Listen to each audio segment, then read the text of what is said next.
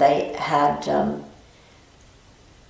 different parades with, um, and I, I can't remember the years they were, but I know I was on a float for one, and it was the uh, Niagara Canners float, which is that winery on the Lakeshore Road. I'm trying to think of the name of it. Um, but Niagara Canners was a canning factory there before it was a winery.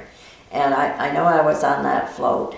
And um, I was quite a bit younger when I was in those floats. I must have been maybe 15, 16.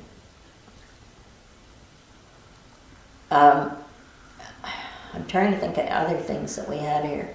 It was fairly quiet. I mean, we didn't have too many things going on, especially in the winter, other than the skating and, and in the summer, um, er, like a lot of activity revolved around the dock area. Like we all swam at the dock. I always swam at the dock. I didn't swim in the lake very much. We, it was deep water and we liked it there. And they had a big tower that you could dive off. That's where the jet boats go out now. Um, it, the firemen always put on something on the uh, Labor Day, and they used to have a greasy pole, and they had an old um, telephone pole that they'd rig up, and, and they'd grease it all with oil, black goo, and they put a, a $10 bill on the end of it.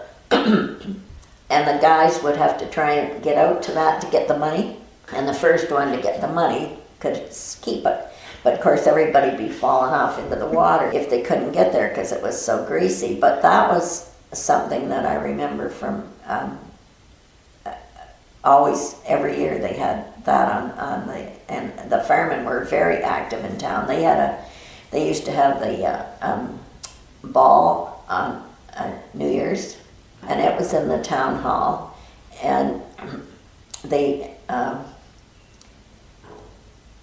the one man used to make the coffee, and I remember he used to put a dozen eggs in it, shells and all. He'd break them up and put it in. He said it kept the coffee clear. And they made it in a great big kettle and cooked it on top of the stove. And the, the, the women, there was a, a women's auxiliary in the fire department, and we made the sandwiches. And we used to get the squares. They were slab cakes we'd get from the bakery and cut up. And everybody went to the town hall on New Year's Eve for the dance. And I know the, the, the firemen, uh, before the firemen had that ball, it used to be called the fisherman's ball, but I don't remember that because we had a, a whole bunch of fishermen uh, that had little shacks along the edge of the, uh, of the dock area. And their nets used to hang behind and be drying. and there used to be a lot of good fish here. We had a fish market down at the dock, and uh, Archie Bishop ran the fish market, and he had it for many years. I spent a lot of time at the dock because my uncle and aunt rented a little house that's still down there. And he worked shift work, and my aunt was afraid to stay alone at night, so I used to stay down there with her at night. So I spent a lot of time at the dock. And uh, uh, the fish market was just right on the water. And building's still there, but I don't think there's anybody in it now. And Archie Bishop, he left it to his nephew when he died, Goring Ball.